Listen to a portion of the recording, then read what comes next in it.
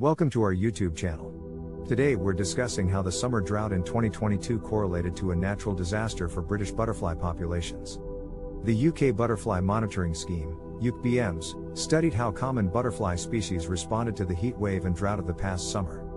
They noted that small tortoiseshells, peacock, green veined whites, small whites and brimstones, while in good and average numbers in the spring and early summer, presented greatly reduced numbers in successive generations of the late summer.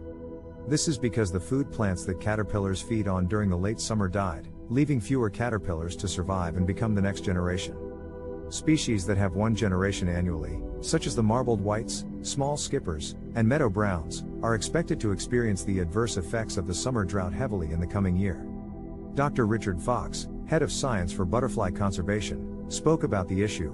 Warm, sunny weather is good for butterflies, but drought is a major problem as the plants they feed and lay eggs on wither and die. This can lead to drastically fewer butterflies in the following generation.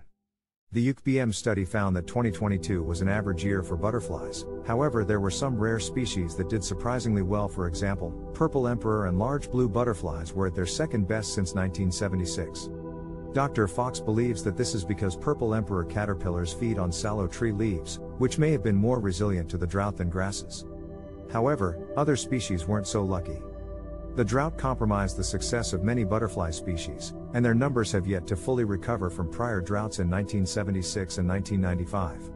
Even more concerning is the fact that 80% of butterfly species have declined in either abundance or geographic distribution since the 70s. We thank the UKBMS and Butterfly Conservation for their continual research and advocacy to protect butterfly species. We understand that one year of drought can have catastrophic results, and we urge everyone to think about how climate change and human negligence can affect environmental health. Ultimately, it is our responsibility to take actionable measures to support the plant and insect world. Until next time, stay safe and stay informed.